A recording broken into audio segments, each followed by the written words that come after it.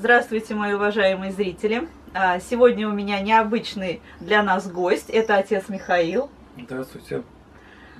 А, где вы служите? Настоятель храма великомученика Пантелеимона, город Ясный, Оренбургской области. Вот такой у меня гость необычный. Я его пригласила, а, можно сказать, по вашей просьбе, потому что я вышиваю иконы, и вы меня заваливаете вопросами, на которые я не могу ответить, но и не имею права я на них отвечать, поэтому мы уже поговорим непосредственно с человеком, который об этом все знает. И я здесь подготовила вопросы, у меня свои вопросы, и которые вы мне задавали. Так, в общем, первый вопрос. А, задаете вы мне, э, зрители, почему я вышиваю иконы и кто имеет право вышивать иконы. То есть любой человек может вышивать или только истинно верующий. Давайте, наверное, мы немножечко углубимся в историю. Дело в том, что, э, наверное, мы обобщим и скажем так, неважно, э, вышивается ли икона, или она пишется красками, или мозаика, или ну, много еще что-то бывает, да, э, мы давайте обратим внимание, как исторически было, какие были исторические требования к человеку, который создает икону. Исторически мы знаем, что человек, который создает икону, это должен быть человек, ну я даже скажу, мало того, что верующий, а это человек, который э, ведет духовную жизнь. Почему? Э, икона, икона это необычное изображение, это изображение священное. Изображение священное. И, соответственно, э, когда мы соприкасаемся с чем-то священным, божественным, к этому должно быть а. определенное благоговение, б. Э, человек э, должен стремиться постичь это священное, это божественное. Соответственно, человек, который писал иконы, это был человек, который наверное, несколько более, чем другие люди. Молился. Наверное, обязательно исповедовался. Не наверное, а точно обязательно исповедовался, причащался. Э, но это такие э, вещи, да, я сейчас говорю формальные, наверное, более глубоко, если сказать. Человек, который э, особо стремился к смирению, к молитве, созерцанию Бога. Поэтому, если говорить о сегодняшнем времени, то логичнее, логичнее все-таки, что тот человек, который вышивает иконы, вообще изготавливает иконы, я считаю, как минимум э, должен стремиться спасти свою душу. Вот если вот обобщить, обобщить в итоге, да, то стремление спасти душу должно быть. И использовать э, те средства, которые мы имеем для спасения души. Именно поэтому, когда ко мне приходят люди за благословением, батюшка, вот желаю вышивать икону, я первый вопрос задаю, а вы исповедуете, причащаетесь? Нет, батюшка. Я говорю, тогда давайте, я вам сейчас объясню, как исповедоваться, причащаться. Вы пока стороночку откладываете и начинаете немножечко жить, жить по-другому жить жизнь церковную. А вот церковная жизнь это и есть жизнь, когда человек исполняет эти два главных таинства. Тогда, соответственно, да, он уже и постится, когда готовится к причастию, там три дня положено поститься. Ну и, э, соответственно, если этот человек старается соблюдать, то можно сказать, что он уже ведет какую-то духовную жизнь. Тогда он молится, соответственно, и тогда я уже такого человека благословляю заниматься изготовлением икон. Но, естественно, изготовлением икон опять. С какой целью? С какой целью? Если это ради продажи, ради ну, прибытка какого-то, то, наверное, это не очень правильно. Потому что все-таки а, ну, это не та область, где стоит стремиться к какой-то наживе и так далее. Э, если человек это делает для себя, для того, чтобы ну, может быть, дарить кому-то, да, кому-то какое-то добро делать. Потому что это глаз радует все-таки, это приятно, это и вообще приятное времяпровождение. То, конечно, тогда, да, тогда человек, я думаю, может вышивать иконы. Ну и э, плюс еще, наверное, я бы еще рекомендовал учесть следующий момент. На сегодняшний день церковь, вообще вот современные, современники наши, мы сталкиваемся еще вот с, я бы даже, даже наверное, сказал, что с проблемой. Огромное количество икон. Раньше так не было. Как было раньше? Была семья, семья заказывала у иконописца икону, это было целое событие. Это было целое событие. Эта икона была в семье, э, перед ней благоговели, перед ней всей семьей молились. Потом, когда э, детей женили, выдавали замуж, да, передавали эту икону, крестили, передавали икону. И эти иконы назывались семейные иконы или родовые иконы. И, соответственно, у людей в связи с этим вырабатывалось благоговение к иконам.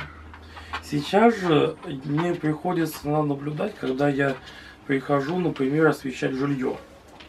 Мне приходится наблюдать следующее. У людей, во-первых, иконы где попало находятся.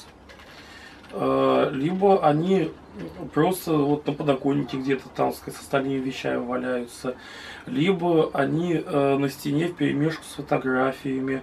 Э, то есть это недопустимо. Все-таки икона должна иметь свое место.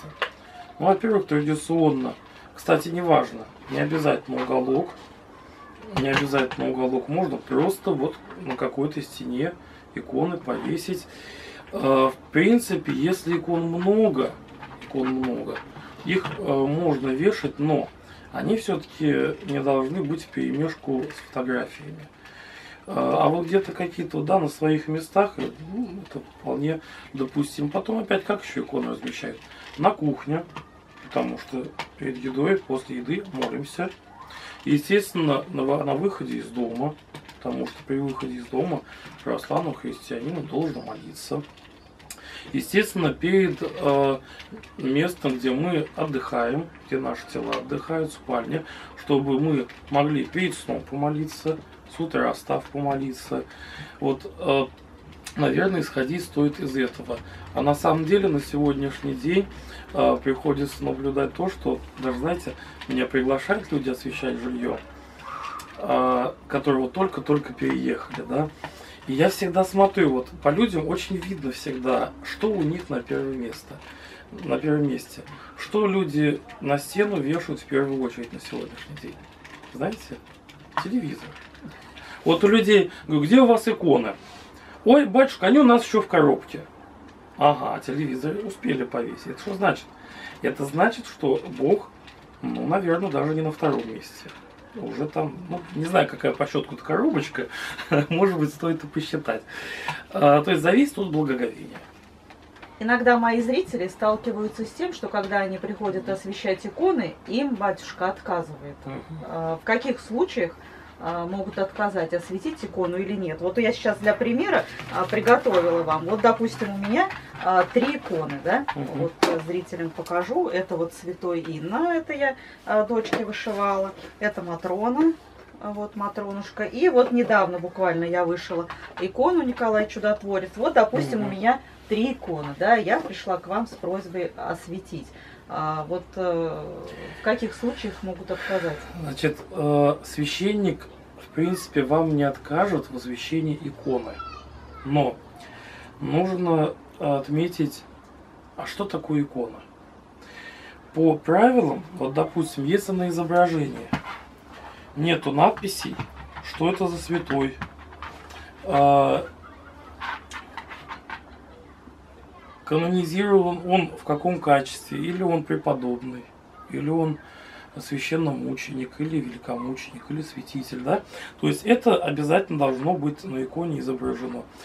По сути, если нету надписи, то это уже не икона. Это изображение. Мы не знаем тогда, кто здесь изображен. А, Поэтому обязательно нужно следить за тем, чтобы была надпись, чтобы она была читаема. Потому что некоторые, когда вышивают, э, получаются надписи нечитаемые. И тогда в таком случае священник может, наверное, на это обратить внимание, конечно, и должен обратить внимание. Потому что вы-то знаете, да, что это, что это за святой изображен. А пройдет 30 лет, у кого-то будет эта икона, и он не будет знать, что это за икона. Это будет сложность. А дальше. Икона должна быть написана в православной традиции, потому что мы знаем, что существует, допустим, э, традиция э, других христианских конфессий, допустим, у католиков. У них другие иконы. Соответственно, э, такую икону священник освящать не будет. И э, третье, наверное, стоит еще отметить, вот я лично сталкивался с тем, что некоторые люди приносят вот так вот вышито, хорошо вышито, но, но э, нету рамки, и по сути сложно сказать, что это законченная работа. То есть это все равно, что, допустим, иконописец принес бы священнику недописанную икону естественно, смысл ее освещать. Поэтому в таком случае священник тоже может сделать замечание и попросить, чтобы ну, закончили работу, а потом уже ее осветить. А вот э, прежде чем вышивать икону, я должна э, прийти к батюшке и спросить благословение? Да. Это да. обязательное условие. А, вы знаете, дело в том, что, опять же, вот у меня бывают какие случаи. Приходит человек, батюшка, осветите мне икону. Я никогда не отказываю, ну, если все правильно сделано. Но я всегда спрашиваю, а вы исповедуетесь, причащаетесь? Вот о чем я говорю. Нет, батюшка, не исповедуюсь, не причащаюсь. И такому человеку, естественно, я делаю замечание, что как бы так делать нельзя, нужно вести церковную жизнь, если мы занимаемся иконами. И я человеку освящу икону. Но согласитесь, у человека внутри будет некое ощущение, что он что-то сделал не так. А это неприятно. И, конечно, если мы приходим заранее, и у священника берем благословение, и священник нам это заранее говорит, объясняет, и мы все делаем правильно, естественно, мне кажется, это даже, наверное, будет и влиять на результаты работы. Вот мы даже если возьмем э, ну, Рублевскую Троицу, да, но ведь мы же знаем, что Рублев, он ведь канонизирует личи святых, как преподобный, как монах. То есть его духовная жизнь влияла на то, какие он писал иконы. Вот. Так же и мы.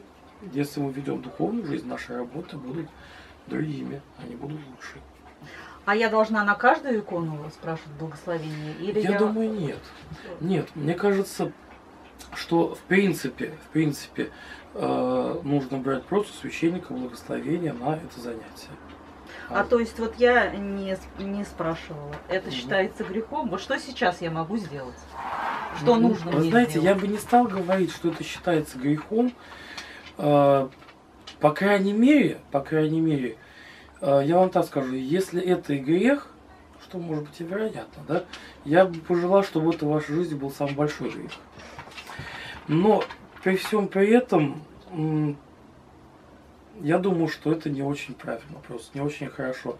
Ну вот что вот, мне сейчас нужно будет сделать? Что нам нужно будет сделать? Да. В ближайшее время подумать о спасении своей души.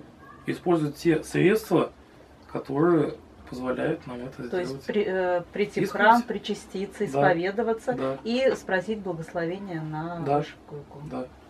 Можно ли вышивать в праздники и по воскресеньям, в православные праздники? А, я, наверное, этот вопрос можно немножечко подкорректирую, потому что плюс к этому вопросу очень многие спрашивают, можно ли работать в праздники. Да. Здесь вот какой нюанс. Почему существует запрет на то, чтобы работать в праздники? Существует заповедь, одна из десяти заповедей, которая говорит, шесть дней работы, седьмой день отдай Богу. Это, кстати, а, камень в огород тех, кто говорит, ой, у меня один выходной, я лучше высплюсь, чем я в храм буду ходить один выходной. Может быть, для того, чтобы о душе своей побеспокоиться. Так вот, а, для того, чтобы люди вместо того, чтобы пойти в храм, не пошли бы заниматься своими делами, э, существует такой запрет на то, что работать в празднике нельзя. Соответственно, я вспоминаю, Пасха была несколько лет назад. На 1 мая выпало, я думаю, выходные. И, э, наверное, много людей придет на службу. И, к моему удивлению, как никогда было мало народу на Пасху. Я задался вопросом, почему так. И стал смотреть, на следующий день захожу в магазин, и я вижу, все люди запасаются, закупаются, на природу едут. Пасха же, праздник, надо же отдыхать. На шашлыки. На шашлыки, да. Это в корне неправильно. Поэтому я дам такой рецепт. Вот если мы в праздник с утра сходили на службу, помолились, тогда можно и работать, и на огород сходить, и двор подмести, и полы дом перемыть. Никаких проблем, греха не будет. Но если я не сходил на службу и лежу целый день и говорю, ой, сегодня работать нельзя, это еще больше грех. Уж если ты уж хоть на службу не, не сходил, бездельничал, ты уж хотя бы какое-то дело доброе сделай, хоть ты там посуду помой. Это будет лучше, чем если лежать целыми днями и по телевизору всякую ерунду смотреть. Поэтому кратко подытожить, можно вышивать, можно работать, но при условии, если мы в этот день посетили праздничное богослужение. Так, следующий вопрос. А, Можно ли храни- хранить освященные иконы в шкафу, или они обязательно должны висеть на стене или стоять на полу? Мгм. Какое назначение иконы? Молиться. Назначение иконы э, э, таково, что мы перед ней совершаем молитву. Она не является, конечно, обязательным условием молитвы. Мы можем молиться и без иконы, но она является для нас хорошим напоминанием. Соответственно, э, если мы используем ее не по назначению, это нелогично и, наверное, неправильно. Поэтому все-таки, я думаю, икона должна иметь свое место, э, и место достойное. Не в шкафчике где-то, а на обозрение. Ну, по крайней мере, если вдруг спросят люди, которые скажут, что, ну, к сожалению, у меня много икон, они мне дороги, но у меня нет возможности все их развесить, ну, наверное, в таком случае э, я бы допустил бы, допустил бы, что они будут где-то в отдельной коробочке специально завернуты, как-то в тряпочку, сложены. Э, это будет лучше, чем если бы они, как у многих людей, валялись где попало. То есть из двух зол я выбрал меньше, конечно. Но лучше, чтобы все-таки иконы висели. То есть, вот, допустим, если у меня комната маленькая, вот на этой Мгм. стене я размещу свои вышитые картины, Мгм. а вот на этой стене отдельно иконы. Так можно? Можно. Да. Ну, то есть я поняла, что все-таки я должна ходить причащаться, должна посещать храм. Вы знаете, как многие зрители Мгм. мои рас- рассуждают? Бог у меня в душе. Зачем мне для этого идти в храм? Мгм, мгм. Давайте вот мы разделим отдельно. Во-первых, э, я бы не стал говорить механически, что надо вот исповедаться, причащаться. Нет. Исповедь и причастие для нас нужны только в том случае, если мы искренне верим в Бога и желаем спасти свою душу. А это средство к достижению вот этой нашей цели. Поэтому в первую очередь нам надо желать спасти наши души посредством вот этих двух главных таинств исповедь и причастие. Второе. Бог у меня в душе. Замечательно. Бог у меня в душе. Э, Возникает вопрос. Во-первых, а мы уверены, что он у нас в душе? С чего мы решили, что он у нас в душе? Христос говорил такие слова. Он говорил о суде, о страшном суде. И он говорил, что многие люди к нему придут и скажут, Господи, а не Твоим ли именем мы бесов изгоняли, людей исцеляли, э, мертвых воскрешали? И Господь говорит, я отвечу им, отойдите от меня, ибо я вас не знаю. То есть Господь говорит о том, что есть категория людей, которые будут обманываться будут думать, что у них Бог души, что даже они его силы делают какие-то дела. Вот почему церковь не благословляет обращаться к различного рода там, да, целителям, там, гадалкам, палкам, шептуньям и так далее. Потому что они-то думают, что у них это от Бога, а на самом деле будет сюрприз, когда они умрут. И здесь то же самое. Мы не можем быть уверены, что у нас Бог души. Но давайте мы еще с другой стороны понаблюдаем посмотрим на эту ситуацию. Вот представляете, Господь 2000 лет назад пришел для того, чтобы каждому человеку дать возможность после смерти своего тела попасть в Царствие Божие. И для того, чтобы донести необходимые знания об том, как осуществить спасение души до остальных людей, чтобы донести эти знания, он избирает апостолов. Апостолов. А, причем апостолы, ведь это были достаточно простые люди. В большинстве своем это были простые работяги, ну, рыбаки, да. И он их избирает по какому принципу? Не по принципу грамотности, да, а по принципу, желают ли они спасения своей души или нет. Опять вот все вот в это упирается, спасение души. И он их отправляет на проповедь. И вот когда Христа уже распинают, когда он воскрес, то потом апостолы, они идут и так же, как Христос когда-то их призвал, так же и они идут и рассказывают людям и призывают людей.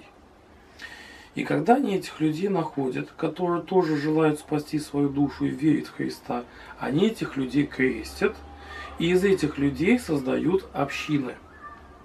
И в этих общинах они оставляют какие знания? Что Христос, они рассказывают людям, это до нас тоже дошло теперь через передание, через Писание. Они говорят о том, что Христос им говорил следующее, что нужно каяться в своих грехах, причем я вам даже процитирую Писание, Христос ученикам сказал такие слова. «Даю вам Духа Святого, открывайте свои согрешения друг другу, обратите внимание на формулировку, друг другу, кому вы здесь на земле простите грехи, тому я прощу на небе. Кому вы здесь на земле не простите грехи, тому я не прощу на небе. Что мы отсюда видим? Во-первых, э, он говорит, открывайте свои грехи друг другу. Отсюда берет практика исповеди не дома перед иконочкой. Не так, что у меня Бог в душе, я сама дома перед иконкой помолюсь, зачем мне там, как мне одна женщина сказала, зачем мне какой-то жирный волосатый мужик, чтобы общаться с Богом. Нет, открывайте свои грехи. А зачем? Вот давайте зададимся вопросом, а с какой целью он сказал открывать грехи именно преемникам апостолов, священникам, да? Потому что мы неадекватно оцениваем самих себя. Замечали? Вот других людях себе, да? Обратите внимание, а, допустим, идет концерт, звонит телефон, мы сразу начинаем фыркать, злиться, кто там вдруг понимаю, что это у нас телефон звонит. Какая реакция? Злость быстро проходит? Быстрее, чем прошла бы, если бы телефон звонил у кого-то другого. А, Чикатило. Если бы он или подобный ему человек, совершая свои злодеяния, дома молился бы перед иконочкой с мыслью «У меня Бог в душе», я сам дома перед иконочкой помолюсь. Такой бы человек быстро бы прощал бы себе грехи. Очень. Никаких проблем. Мы всегда найдем себе оправдание. И вот обратите внимание, дальше Христос говорит, кому вы простите грехи, тому я прощу на небе, а кому не простите грехи, тому я не прощу на небе. То есть священник имеет власть не только отпускать грехи человеку, но он имеет власть на человеке грехи пока удерживать. Почему? Потому что иногда э, священник может увидеть в человеке, что на самом деле в человеке нет покаяния. Вот давайте представим такой случай. Представим такой случай. Приходит к священнику на исповедь заказчик убийства на следующий день после убийства. И говорит, батюшка, вот я вот заказал человека, его вчера убили, я вот хочу покаяться. Это покаяние? Мне кажется, нет. Мне кажется, это желание, а, совершив грязное дело, успокоить свою душу.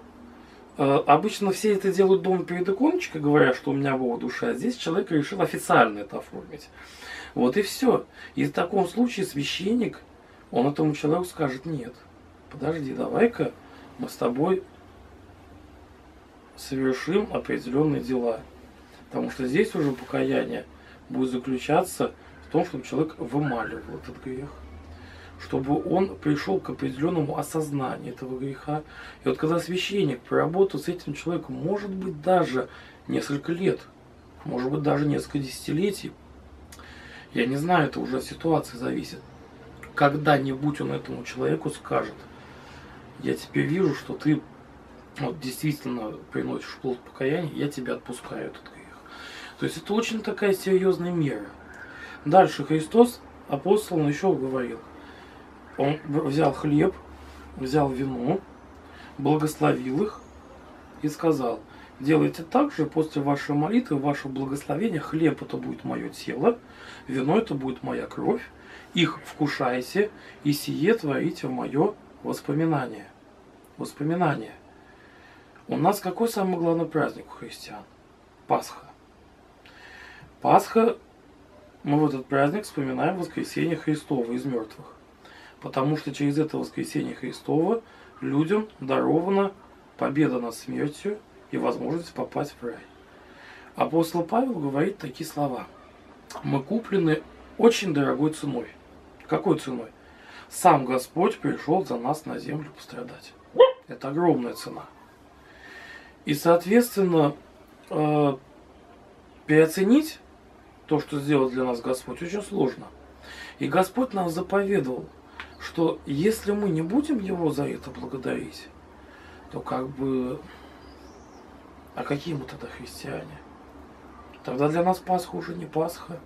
Вот причастие Его тела и крови – это воспоминание, это благодарность. Кстати, это таинство в церкви еще по-другому называется Евхаристия. Евхаристо с греческого переводится, так и переводится благодарение. благодарение. И вот получается возникает вопрос. Если я крещенный, но я не исповедуюсь и причащаюсь, и не причащаюсь, не исповедуюсь и не причащаюсь, а вообще, а какой смысл, что я покрестился? Логика.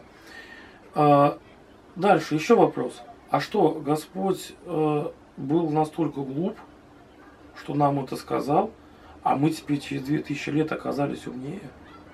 А что, те святые, которых мы, которым мы молимся, которых мы почитаем, которые за 2000 лет, я перечислю самых известных да, у нас в России, и Николай Чудотворец, и Сергей Радонежский, и Серафим Саровский, и Матрона Московский, много еще может перечислять.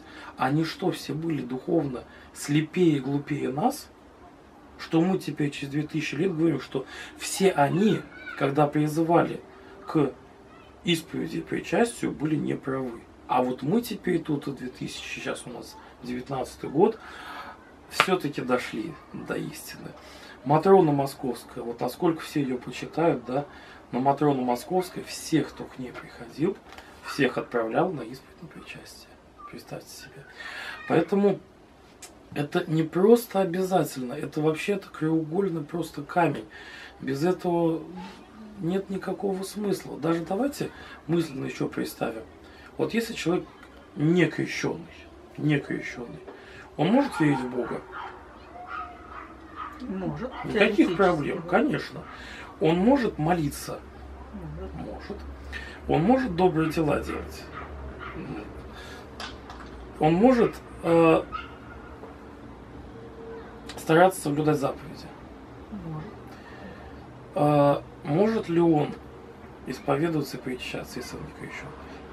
М, вот не Уже нет. уже То есть, покрестившись, мы получаем возможность совершать два таинства, и говорим, а нам это не надо. Получается глупость. И тогда еще возникает вопрос. Коммунисты, безбожники, они ведь тоже сделали добро. Вы же не знаете, что они хорошие христиане. То есть хороший христианин это не тот, кто делает добро. Добро это естественная вещь. Это, как, это все равно, что мы дышим, мы не можем не дышать. И также любой нормальный человек, он совершает добро, потому что для него это так же естественно, как и дышать естественно.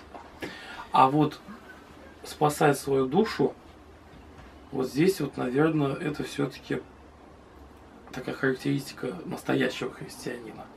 Так вот хорошая характеристика. И вот еще такой вопрос. Многие производители выпускают иконы, где нужно вышивать лик, особенно угу. если это вышивка крестом. А, вот, допустим, у меня вышивка бисером, а здесь лик не вышивается. Но если полная зашивка крестом, там вышивается тоже лик. Угу. И вот часто среди вышивальщиц возникает такой спор, можно ли вышивать лик или нельзя. В практике создания икон мы можем столкнуться с тем, что, например, иконописец, а, когда пишет лик, может что-то подправлять. А, или, допустим, когда делается мозаика, то же самое. Мне кажется, здесь нужно исходить из того, какова цель. Если мы протыкаем икону с целью ее осквернить, конечно, это грех. Если мы протыкаем ее в связи с тем, что мы ее изготавливаем, то я думаю, это допустимо. Допустимо. Единственное только может быть, может быть, э, все-таки отнестись к этому вопросу еще следующим образом. Я бы, может быть, не рекомендовал учиться вот на как, как это называется, э, ну, вышивают где, ну, где лик находится. Вот сам лик, вот, допустим, да, вот это как называется полотно? Канва? Канва. Канва, да. Вот на, вот на такой канве, может быть, я бы не рекомендовал учиться, а может быть, поучиться на отдельном каком-то полотне, для того, чтобы ну, лишний раз не переделывать, да, потому что все равно подсознательно даже, да, и да, даже осознанно у нас может возникать чувство, ну, какого-то дискомфорта, неприятно все равно, да, может быть. Э, поэтому, может быть, да, стоит э, обратить на это внимание, на отдельно на чем-то поучиться. А, ну вот, то есть я даже делаю вывод, что если уж вышиваемые иконы, даже mm-hmm. вот я бисером вышиваю, то нужно это делать максимально аккуратно. Конечно. А, чтобы не была она какая-то Кстати, кривая, косая. к вопросу, там... почему священник может отказать осветить икону. Может быть, может быть, э, священник может просто обратить внимание на то, что икона просто неаккуратно сделана. И э, священник, мне кажется, может ну, обратить внимание на это. И обратить внимание не только свое, да, но и того, кто эту икону изготовил. И вот меня еще в нашей беседе заинтересовал э, такой вопрос э, э, иконы с целью продажи. А многих рукодельниц просят на заказ вышить икону. Я так сделала вывод, что это нежелательно делать.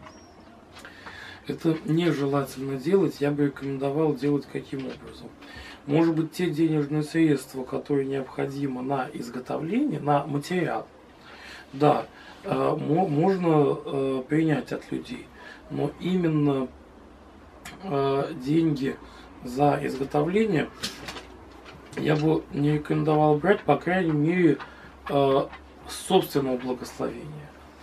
Потому что, наверное, конечно, мы прекрасно понимаем, да, что те, кто э, изготавливали иконы, обычно это было при монастырях, либо при храмах, и, соответственно, люди э, жертвовали деньги на храм.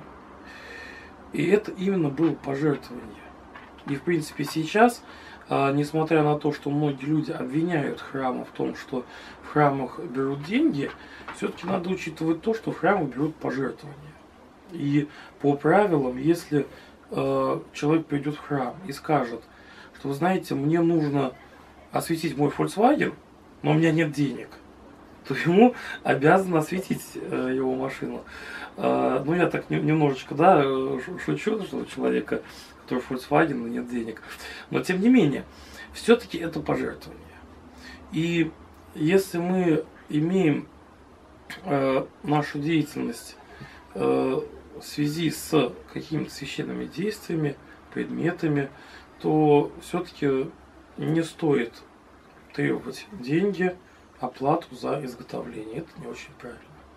Ну, то есть иконы, которые продаются в церковных лавках или в церкви, эти угу. деньги идут на пожертвование или на благотворительность. Эти э, деньги являются пожертвованием на храм.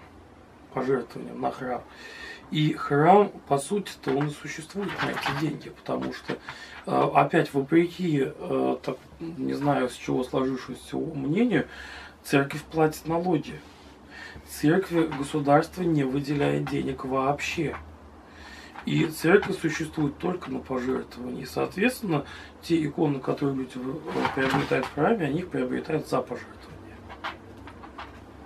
Понятно. Меня этот вопрос интересует, угу. потому что я как раз вот э, меня просят часто вышить э, угу. икону, но я теперь хотя бы буду знать. Либо, либо заработанные ну, деньги я должна буду пожертвовать, либо на благотворительность их, либо уже тогда не заниматься этим знаете, видом вот заработка. Как мы отнесемся к священнику, который, придя к нам домой осветить наше жилище, э, на наш вопрос скажет, на наш вопрос, сколько мы вам должны денег, скажут, там, три тысячи. И как мы отнесемся к священнику, если он на такой же вопрос скажет, ну, сколько пожертвуете? Это две разные вещи. То есть, э, все-таки служение Богу, оно э, требует, наверное, такого отношения даже в денежном вопросе, более внимательного, более внимательного. Ну вот если бы у нас сейчас с вами был прямой эфир, я так. даже знаю, какой бы вопрос задали Давайте. мои зрители. Провокационный вопрос приветствуется. Да, но в церкви тоже там есть э, расценки. Да. Но если человек, у человека нет денег, то есть ему отказать в любом случае... Не имеют права, точно. То есть нужно а, об этом сказать, э, да. что, что у меня денег нет. Видите ли, просто люди вследствие своей невоцерковленности, они не знают и они стесняются. Вот у меня в храме вообще для чего существуют вот эти вот расценки? Дело в том, что когда человек спрашивает батюшка, а сколько мы вам должны, и когда батюшка ему отвечает, сколько дадите, большинство людей задают следующий ряд вопросов. Батюшка, ну все-таки, ну сколько? То вот я боюсь, вдруг я мало дам, вот, э, как-то вот мне неудобно. И для того, чтобы людей как-то сориентировать, вот составлены вот эти списки. То есть это рекомендуемые суммы пожертвований. Это те суммы, от которых мы рекомендуем, чтобы люди отталкивались. А дальше человек, исходя из своих финансовых возможностей, он решает, сколько он пожертвует. Может быть, он вообще ничего не пожертвует. И если ему откажут, вот я хочу, кстати, сказать, если вдруг вы попросили, чтобы, допустим, вашего ребенка покрестили бесплатно, так как у вас нет денежных средств, и вам в храме отказали, обратитесь к настоятелю храма или к любому священнику, потому что, может быть, работники лавки не совсем понимают. Если вам священник отказал, в таком случае, я считаю, нужно смело обращаться в епархию, и епархиальное управление, даже написать официальное письмо и спросить, пожалуйста, обратите внимание, что, ну, видимо, в храме, может быть, либо не знает, либо об этом, либо не уделяет должного внимания этому. То есть наша церковь, мы все члены церкви, мы должны, как христиане, влиять на ее улучшение. В этом ничего плохого нет, это абсолютно нормально. Более того, обычно вот в этих списках всегда внизу пишут, по крайней мере у меня в храме написано, это большими буквами, что братья и сестры в случае невозможности внести пожертвование, э, любая треба будет совершена бесплатно. То есть мы ничего не требуем. Ну вот, надеюсь, мы максимально подробно ответили на ваши вопросы. Э, спасибо вам и на мои Спасибо вопросы. Спасибо вам. Да, было очень приятно. Спасибо. Вообще, если э, для зрителей нужен прямой эфир, может быть, мы потом попозже смогли бы и сделать эфир. Я думаю, да. Потому что я заранее тоже не могу предугадать, какие вопросы возникнут у моих зрителей, и вообще будет ли эта тема интересна. Угу. Когда у меня шли трансляции, мне очень много задавали вопросов, и угу. я так поняла, что зрителям эта тема угу. интересна. А, я тоже очень много нового узнала. Ну, ну, рад, рад послужить. Спасибо. Я думаю, что еще встретимся, еще поговорим на эту тему. Вот, потому что вот вышивать-то иконы мы вышиваем, но мало что об этом знаем. Да, ну пока живем, возможность есть ну, познавать, дай Бог к этому стремиться. Спасибо вам. Да, спасибо. До свидания. Спасибо вам за просмотр. Подписывайтесь на канал. Всем желаю удачи. С вами была Инесса и отец, Михаил. да. Всего доброго. Пока-пока.